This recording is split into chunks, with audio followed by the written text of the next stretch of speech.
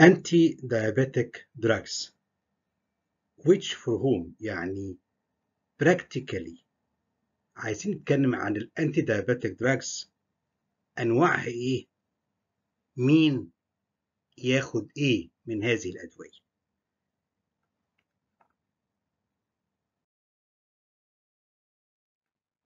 simply إحنا عايزين نقول حالات حقيقيه clinical real life scenarios وازاي أقدر اعمل application للجايد لاينز in our everyday practice.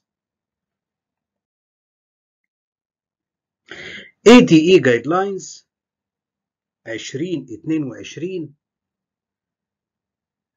بتقول باختصار شديد in first line therapy for type 2 diabetes is lifestyle intervention and metformin ولكن المتفورمين لوحده عادة مش بيبقى كافي لضبط السكر فبتحتاج مع المتفورمين تدي one of the anti-diabetic drugs DPP4 inhibitors أو gliptins زي sitagliptin, vildagliptin and linagliptin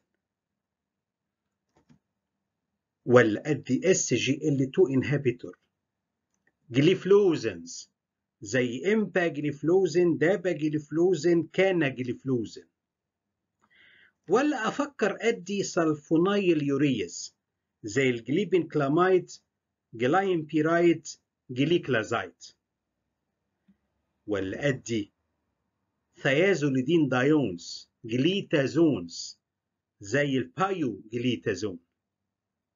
ولا أروح أفكر في حاجة injectable زي GLP 1 receptor agonist أو glutides زي liraglutide dulaglutide أو semaglutide واضح إن ال anti-diabetic drugs كتير.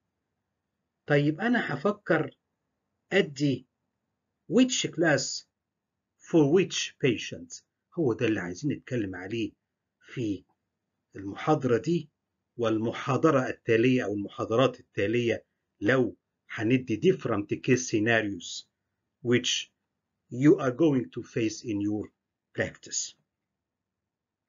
هختار إيه؟ هختار مين فيهم؟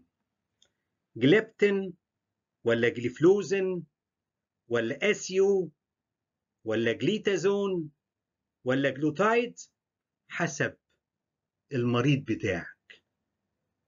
في مريض هيناسبه أكثر ما يكون DPP 4 inhibitor مريض تاني هيستفيد من SGLT 2 inhibitor مريض تالت هتقول لا أنا هدي سلفونايل يوريا.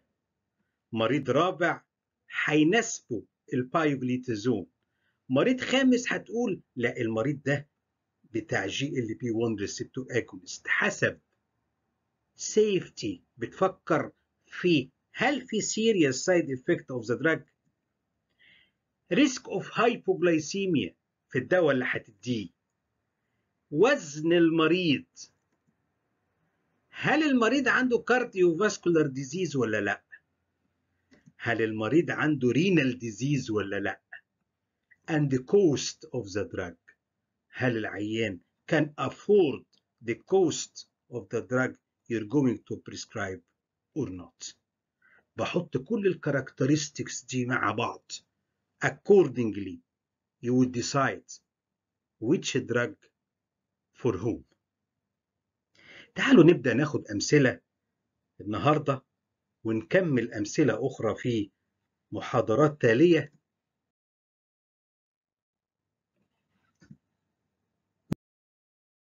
خلوني أبدأ بالبشمهندس سامح. البشمهندس سامح سنه 52 سنة type 2 diabetes من سنتين ال BMI 32 سمين ملوش مواعيد ثابتة للأكل. البشمهندس سامح لا يدخن. عنده controlled hypertension وجاي عامل stress test free echocardiography free. يعني ما فيش evidence of cardiovascular disease. ماشي على ميتفورمين 1000 مللي جرام twice daily وال blood glucose بتاعه صايم 180 فاطر 230 تراكمي 7.9 من عشرة يعني his سكر is not controlled. لكن ال key في العيان ده ال key finding في سامح اللي هتخليك تفكر في انهي class هتديها له هي دي. renal profile ال urinary albumin creatinine ratio test لازم نعمله كل سنة لعيان diabetic from the day of diagnosis in type 2 diabetes. وإذا كان ال urinary albumin to creatinine ratio أقل من 30 يبقى normal أكتر من 30 يبقى أنا عندي here the evidence of chronic kidney disease. فالباشمهندس سامح جاي لي ب albumin creatinine ratio 272 يعني عنده chronic kidney disease وماشي على metformin monotherapy أديله إيه مع الميتفورمين نروح لل guidelines ADA 2022 الأستاذ سامح مكانه في هذا المربع. نكبر المربع ده. العيان اللي عنده chronic kidney disease first line you would think of should be SGLT2 inhibitor يعني gliflozin ولو ال gliflozin is not tolerated ولو ال gliflozin is contraindicated يبقى GLP 1 receptor agonist تاني في العيان اللي عنده type 2 diabetes وجاي لك ب chronic kidney disease يعني albuminuria يعني urinary albumin creatinine ratio أكتر من 30 لا تفكر ولا تحتار. العيان ده you should prescribe SGLT2 inhibitor giliflozin and if not indicated or not tolerable one should prescribe GLP-1 receptor agonist يعني glutide independent of A1C يعني independent of A1C يعني حتى لو سكره مظبوط حد اس جي ال 2 انهبيتور للباشمهندس سامح الاجابه آه ليه لأن ال SGLT 2 inhibitors ليها pleiotropic effects independent of blood glucose lowering بت protect ال kidney يطول الشرح لكن خلوني أشاور على تلغرافيا ال SGL2 inhibitor هتقلل الوزن وده renoprotective لها anti-inflammatory effect وده renoprotective لها uricosuric effect وده renoprotective بتقلل ال blood pressure وده renoprotective وبتقلل ال intraglomerular pressure وده renoprotective وبالتالي SGL2 inhibitors do protect the kidney. And one should consider لأي عيان عنده type 2 diabetes with chronic kidney disease even if the A1C is well controlled. طيب الكلام دوت يعني نظريا مقنع لكن هل عندك evidence يقنعني ك clinician إن الكلام دوت حقيقي؟ Let's move to the evidence. We have several trials. جبت لكم مثال واحد study اسمها سيكي دي. يعني عيانين عندهم البومينوريا عندهم chronic kidney disease with or without diabetes. Randomized إلى dapagliflozin one of the SGLT2 inhibitors versus placebo follow up حوالي سنتين ونص. وهذا ما حدث. ال progression of chronic kidney disease كان أقل 39% مع ال dapagliflozin and all cause mortality كان 31% أقل مع ال SGL2 inhibitors وعليه FDA approved dapagliflozin for chronic kidney disease whether the patient is diabetic or not. يعني العيان عنده chronic kidney disease should receive SGL2 inhibitor وعليه بالنسبة للبشمهندس سامح وكل سامح عيان تايب 2 وعنده evidence of chronic kidney disease يعني urinary albumin creatinine ratio أكتر من 30 أو EGFR أقل من 60 أو كلاهما معا one should think of SGL2 inhibitor irrespective of the patient's A1C.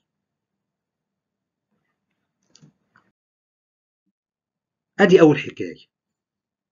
حكاية البشمهندس سامح.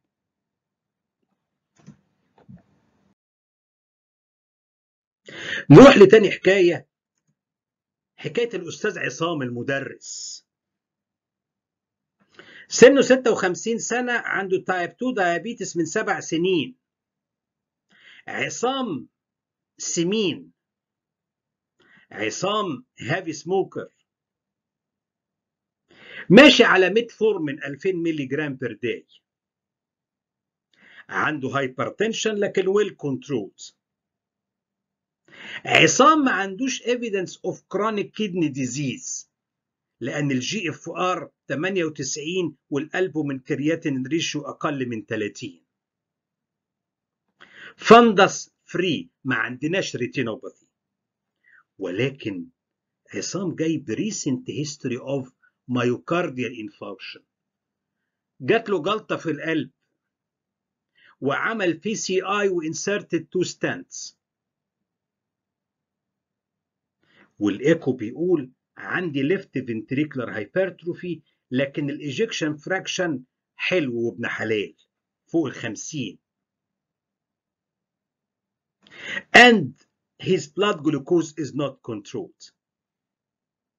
تاني الأستاذ عصام عنده تايب 2 diabetes hypertensive heavy smoker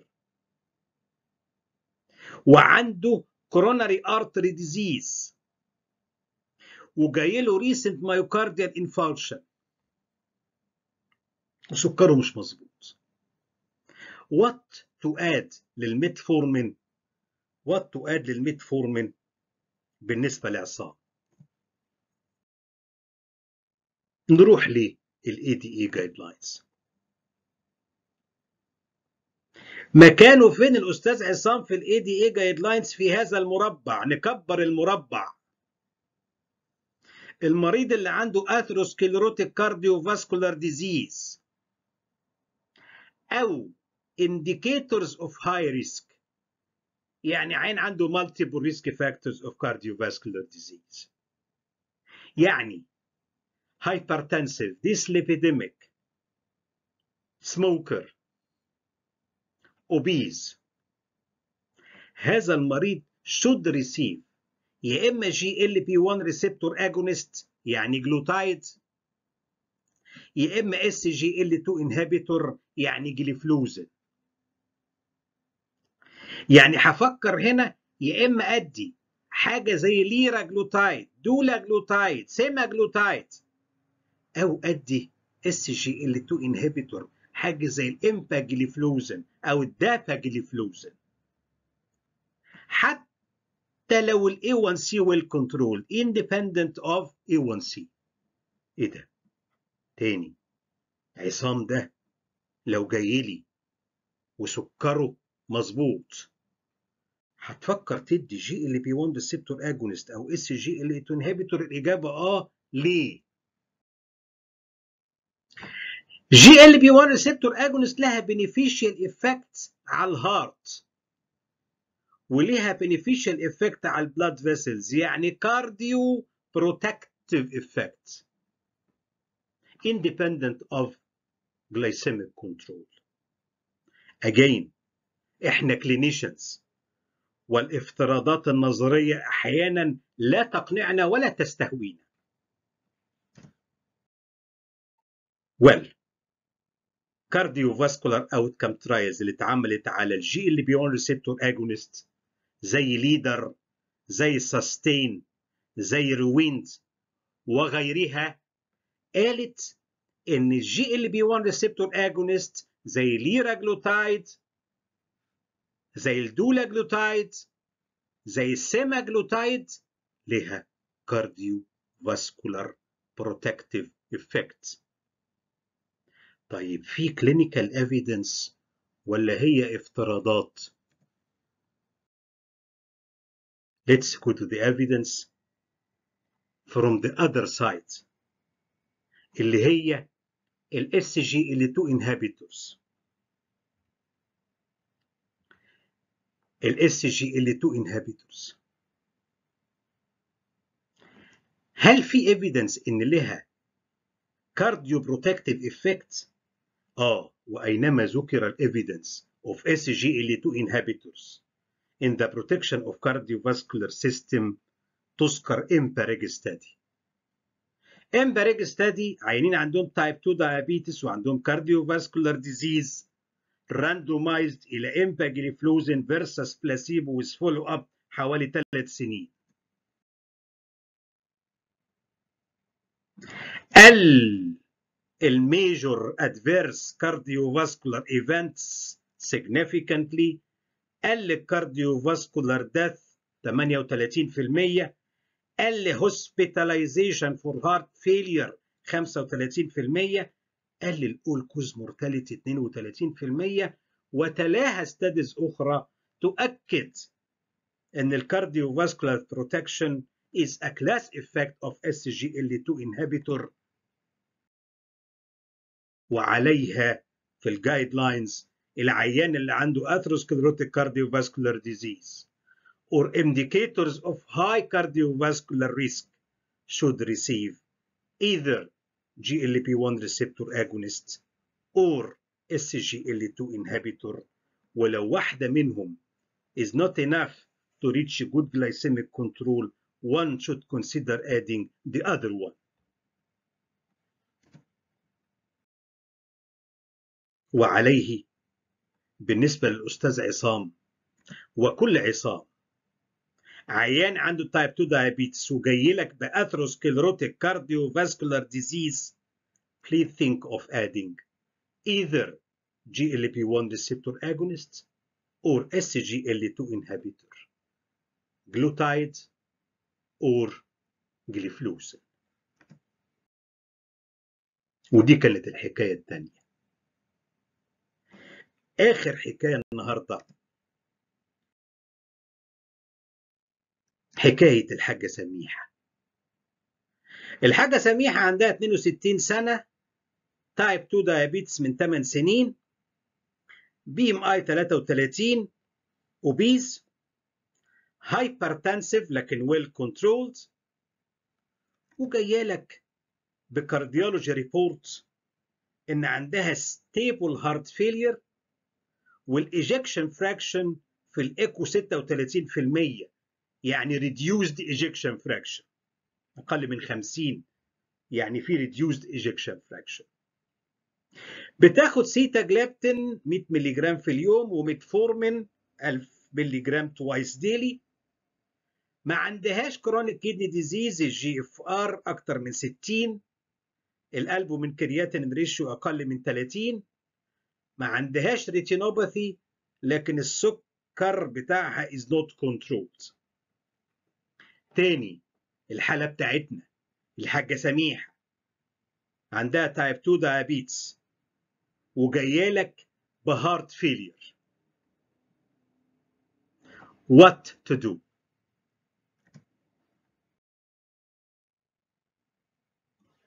ADA مكان الحاجة سميحة في هذا المربع. العيان اللي عنده type 2 diabetes وجاي لك ب heart failure هتلاقي هنا في option واحد اللي هو SGLT2 inhibitor يبقى العيان ال diabetic اللي جاي لك ب heart failure ما تحترش لازم ياخد SGLT2 inhibitor independent of A1C حتى لو ال A1C well controlled. ليه؟ زي ما قلنا من ال SGLT2 inhibitors لها protective effect هنقول هنا إن لها cardiovascular benefits يطول الشرح. ولكن SGLT2 inhibitors بت affect ال classic cardiovascular risk factors لها favorable effect على ال blood pressure وعلى ال weight وعلى ال uric acid وعلى ال albumin بت affect ال hemodynamics وقد يكون أهم ما يكون إنها بتعمل natriuresis وبتحسن ال endothelial dysfunction لها endocrine effects بتحسن ال beta cell function وبتقلل ال insulin resistance و sympathetic tone lastly but not at least لها direct effect على ال myocardium وبنسمع هنا عن anti-oxidant effect و anti-inflammatory effect جميل. نظريا الحاجات دي بتحسن ال cardiovascular profile. طب عندنا clinical evidence مثال. DAPA heart failure يعني عيانين عندهم heart failure with reduced ejection fraction. whether diabetic or not. Randomized إلى dapagliflozin versus placebo with follow up حوالي 24 شهر. وما حدث وما حدث إن ال worsening of heart failure كان 30% أقل مع ال dapagliflozin وإن ال cardiovascular death كان significantly less مع ال dapagliflozin وعليه ال FDA approved dapagliflozin للعيان ال diabetic اللي عنده heart failure with reduced ejection fraction سواء العيان diabetic أو لا كل مريض heart failure with reduced ejection fraction should receive SGLT2 inhibitor whether diabetic or not. ثم ال EMPEROR reduced trial. تشبه ال DAPA heart failure لكن هنا empagliflozin الثانية dapagliflozin وكانت النتائج فيها بوضوح cardiovascular benefits.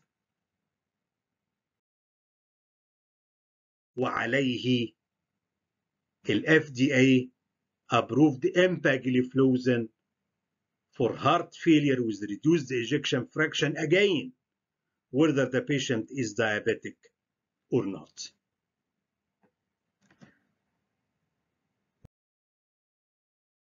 بالتالي ال guidelines بتقول لو عيانك عنده heart failure ولا تحتار لازم تدي اس جي ال تي 2 انهبيتور سواء العيان السكر بتاعه controlled أو لا cardiovascular benefits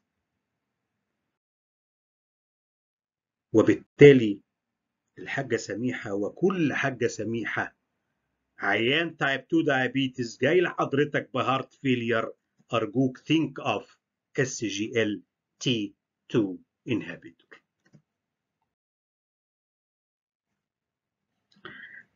اسمحوا لي ألخص اللي قلناه النهارده. في ثلاث كلمات